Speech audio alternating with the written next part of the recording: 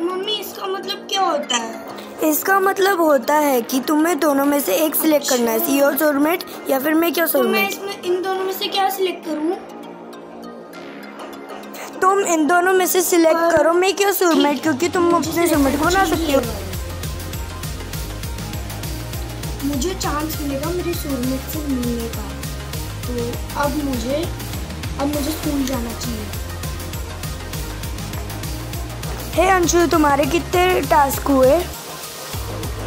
तुम्हें क्या है?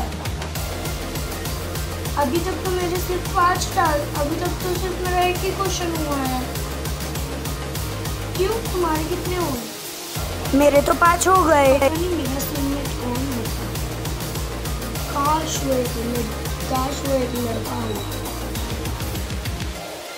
अरे वाह!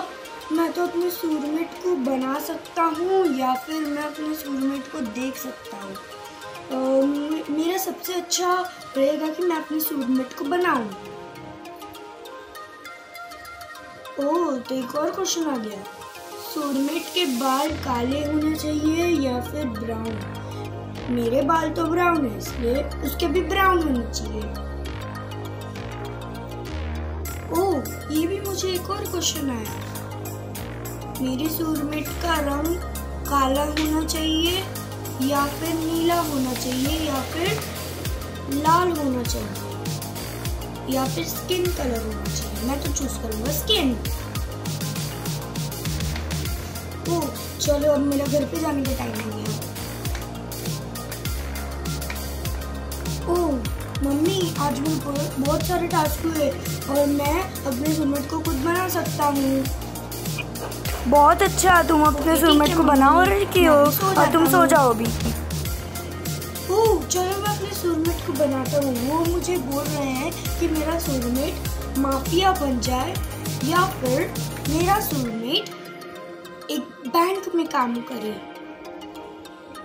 मुझे सबसे अच्छा तो बैंक लग रहा है क्योंकि माफिया में बन के चोरी करेगा। बैंक मेरा सूरमेट कैसा होना चाहिए? एकदम अच्छा या एकदम गंदा?